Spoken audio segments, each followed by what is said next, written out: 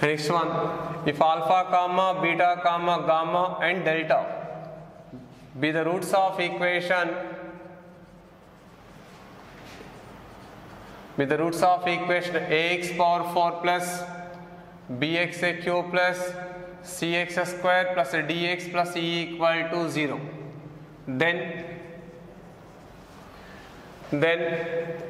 s1 is equal to sum of roots. That is alpha plus beta plus gamma plus delta is equal to minus b by a.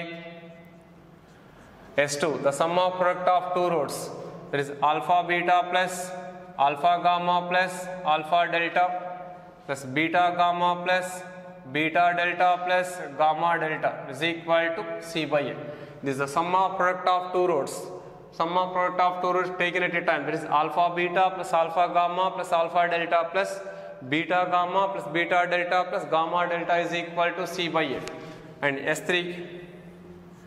S3 is equal to the sum of product of roots taken 3 at a time. That is alpha beta gamma plus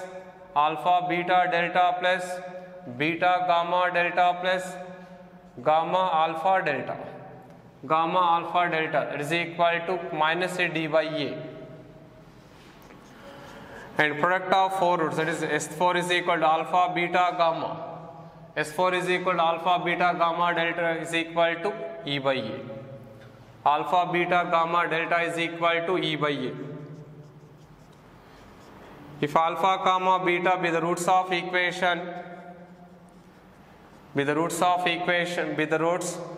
then the equation is x square minus of alpha plus beta into x plus alpha beta is equal to 0. x square minus minus of alpha plus beta into x plus alpha beta is equal to 0 the equation whose roots are alpha beta gamma is the equation whose roots are alpha beta gamma is x cube minus of s1 x square plus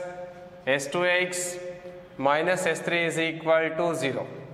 x cube minus of s1 x square plus s2x minus s3 is equal to 0 that is x cube minus of alpha plus beta plus gamma of x square plus alpha beta plus beta gamma plus gamma alpha of x